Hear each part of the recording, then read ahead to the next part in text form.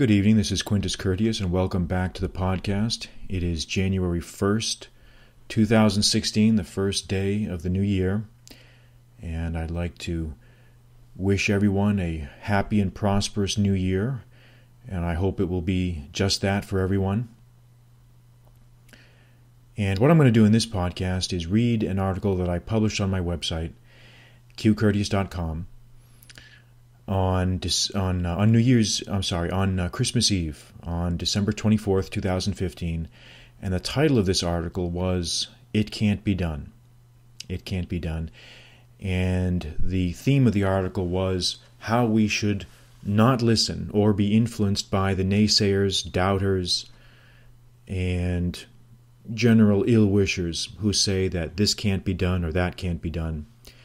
Instead, what we should do is follow the lodestone of our own internal compass, and we should go which way that fortune and fate dictates, and to do those things that everyone says cannot be done.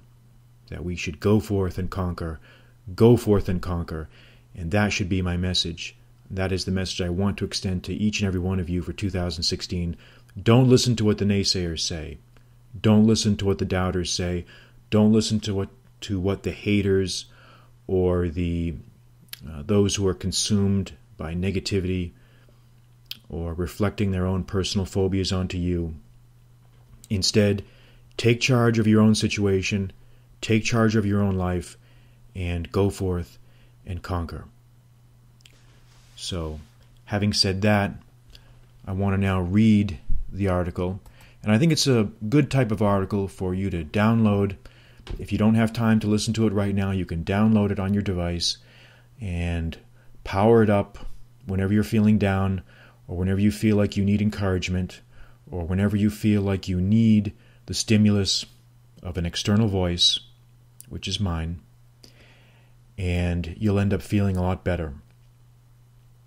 So here is It Can't Be Done. It can't be done. It's never been tried before. It's just impossible. How many times in history have we heard those words? And how many times have those words turned out to be wrong? Many times. People said the fortress of Quebec was impregnable until the British took it in 1759 during the Seven Years' War. They assaulted the city by scaling, scaling the cliffs near it, something that the French never thought possible. People said that Singapore could never be taken by land until the Japanese Imperial Army took it in a brilliant campaign in 1942.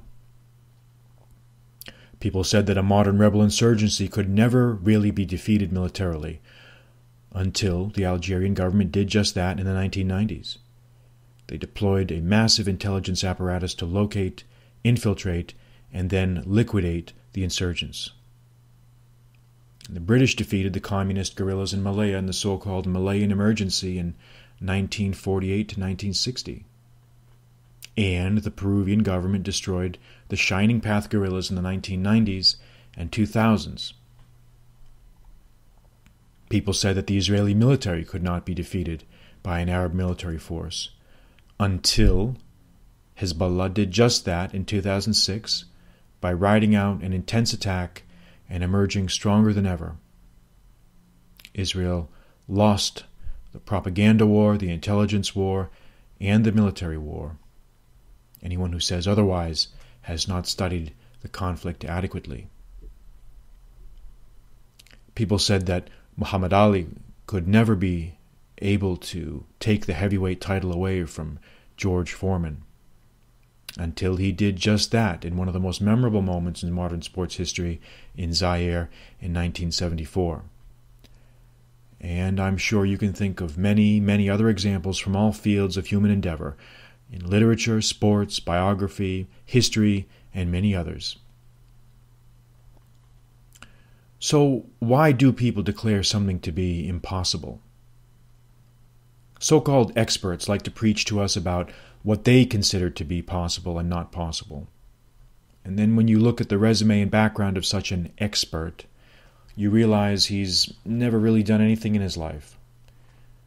Why do people make such pronouncements, pronouncements ex cathedra, only to have them proven wrong over and over again? Well, they do it for many reasons, actually. The main reason is that most people do not think big. They do not think creatively. When they look at a situation, they only see obstacles, not possibilities. They are unable to grasp the realms of the what if. They themselves, being timid and fearful souls, project this timidity and fear out on the world and assume that everyone else is like them. The second reason they make such statements is that they don't want to do the work to try to get things done. It's much easier, as they see it, to sit back and make no efforts. Reaching for the clouds takes guts. It takes sustained effort. It takes intense mental, physical, and emotional energy. Reaching for the clouds forces you to look in the mirror and to ask yourself if you have what it takes to go the distance.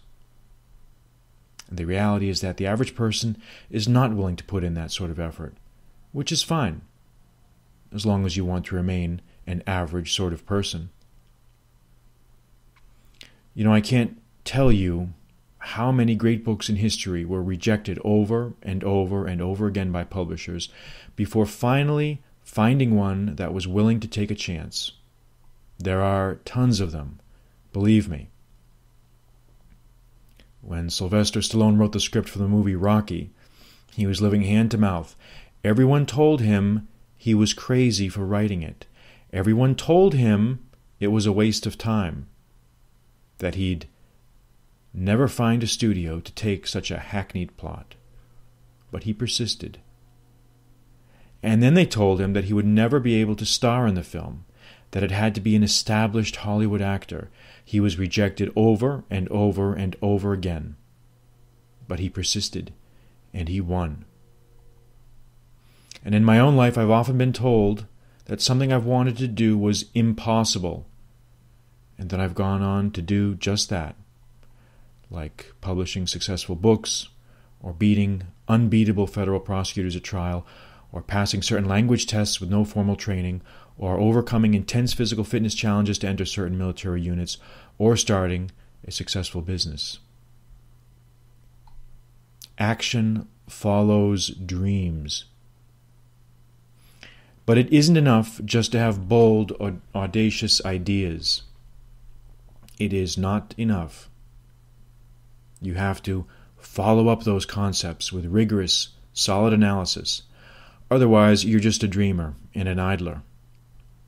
And the field of dreams is littered with the corpses of the fallen. So you need more than just idle fantasies. Dreams need to be translated into reality, Research, work, research, work. That's the reality. And then you have to implement your plan. As I said, having a big dream is not enough. You need to have sound strategy and sound tactics. The Sri Lankan government could dream all it wanted about crushing the Tamil tigers, but without a solid grand strategy, the dreams would remain just that pipe dreams. So, what did they do? They cut off the rebels' funding. They isolated them diplomatically on the world stage. And they got ruthless. They hunted down and liquidated the rebel command structure. They isolated the population that might support them and won them over with a mixture of incentives and punishments. You need a plan. So you need a plan. That's the big thing. Bide your time, make your plan, and wait for your moment. What else? What else do you need besides a plan? Well, you need the ability to shift gears and change course while you're in the middle of a plan. Because let me tell you something no plan ever survives intact the beginning of operations. You need a plan, of course, but it's going to have to be tweaked and modified as you move forward. Well, how do I know when to change course? question often arises. How will I know when to adjust course in the middle of my plan? Well, the answer is easy. You'll know when you bloody well know. That's the answer. You'll know when what you are doing is not working. When things are not working, figure out why and correct it. It's that simple. Do not let considerations of pride, personal feelings, or frustration get in the way. Operations are fluid, contact is fluid. You can't predict the course or flow of conflict any more than you can predict precisely the movement of a twig floating on a stream. We know its general course, but not its precise course. Tuning out the noise.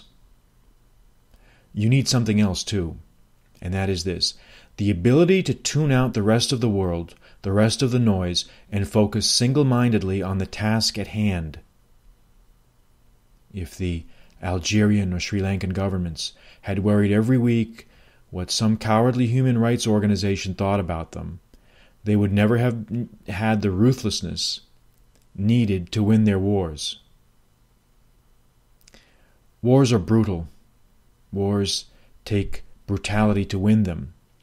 And the best way to end the brutality of war is by winning the war as quickly as possible. In conflict and in life, you need to do what is necessary to win, despite all the whining, screaming, and shouting from other people. Because know this other people don't walk in your shoes. Other people are not in the arena. Other people do not have your best interests at heart. Other people are knob nibblers, chicken shits, and cowards. So remember that. And when it is the time to strike, strike. Do not hesitate. Pull the trigger. But there is something else to consider the flip side. There is a flip side to the idea that all things are possible, and it is this you cannot take anything for granted. If you're on top, you can't get complacent, you can't rest on your laurels. If anything can happen, there is a chance that the unexpected will happen.